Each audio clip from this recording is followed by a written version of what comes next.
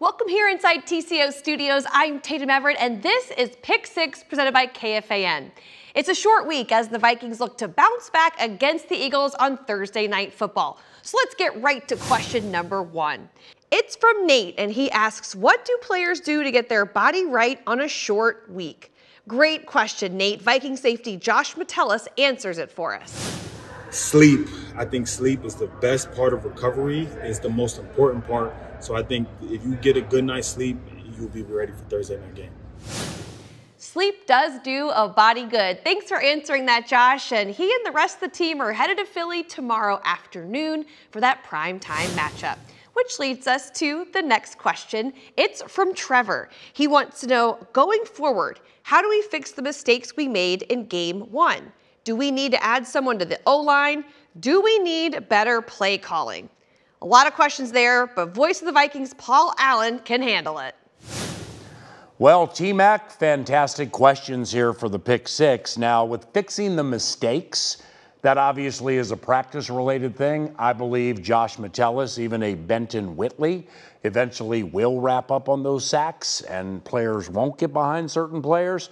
And offensively, you know, they, they were lighting it up, man. I mean, the quarterback threw for a big number, JJ with that 42, so I trust this offense. Uh, the second part of it, adding something to the offensive line, I don't know. I mean, Bradbury got nicked up, Schlottmann stepped in. We'll see how the rest of the season works out. And finally, do we need better play calling?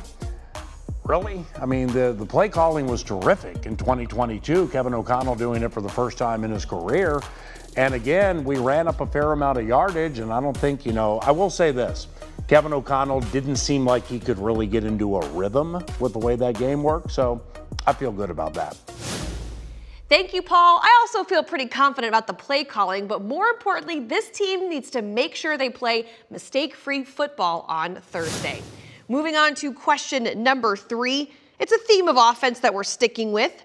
With the impressive performance of the defense, what seemed to keep the offense from being the offense we saw last year? Was it play calling, game plan, execution? Friend of the show, Fox 9's Ahmad Hicks answers this one. So it's not time to press the panic button just yet for this offense. What you saw in week one was what you normally see from NFL offenses. Them being a little sluggish, their rhythm being off because they didn't get a lot of reps during training camp. You can't replicate game speed in practice. So I think the offense will be just fine. They moved the ball, but of course those mistakes limited them. I don't think that will be a problem moving forward. I think Kirk Cousins, Justin Jefferson, and everyone gets on the same page and they live up to those offseason expectations. Thank you, Ahmad. It definitely was a positive sign to see Kirk Cousins ranked second in the NFL in passing yards. Hopefully, we see more of that in Philadelphia. Let's go to that next question. Jason and Hastings has the next one. How can we address the offensive line properly in such a short week, especially against a great pass rush? Vikings analyst Ron Johnson here with the answer. Hey, Jason, that's a great question. The offensive line on a short week already, we know Garrett Bradbury is banged up. How can Kirk Cousins help out the offensive line? It's not just Kirk Cousins, but it's going to be the entire offensive staff you got to shorten up the passing routes. You can't give them that much time to get after you. You know they have some great pass rushers on that Eagles defense. So in a short week, the good thing is both teams are heading into a short week, but you can run some three-step drop stuff, some screens to slow that rush down, and that's the only honest way to help out this offensive line. Uh, there's no magic trick to it. It's basically scheme and how you can slow down that defensive line. At the end of the day, running the ball maybe a little bit more with Alexander Mattison and Ty Chandler might be the answer. Thank you, Ron. It is a tough Eagles front. They rank third in pass rush win rate last week, according to ESPN NFL Next Gen stats. We know it'll be a tough test, those pressures forcing turnovers this last week, which leads us to our next question. After the Bucs game where turnovers cost you the game, how do the coaches or players go about fixing the issue before Thursday? What can they do to practice and make sure those situations don't happen again? Vikings Entertainment Network's Gabe Henderson dives into this one.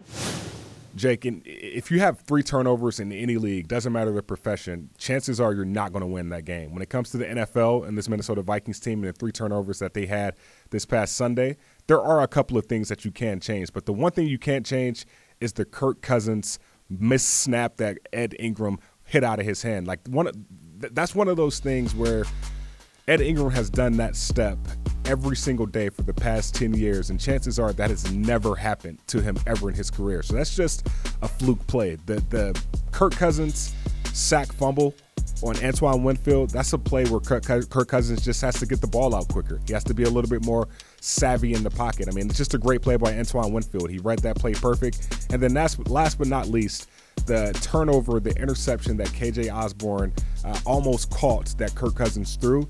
Uh, Kirk Cousins just has to put that in a better spot. I believe he addressed that in his press conference uh, after the game against the Tampa Bay Buccaneers. And I believe Kirk Cousins and this Minnesota Vikings offense will change all three of those mistakes, all three of those turnovers this upcoming Thursday against the Philadelphia Eagles. Thank you, Gabe. That leads us right into the final question of Pick Six. Lee asks, honestly, what could be done with the offensive and defensive lines? Neither one got any type of rush. Wouldn't a true nose tackle and a better guard change our fate? Here's Vikings radio analyst Pete Bercich with the answer.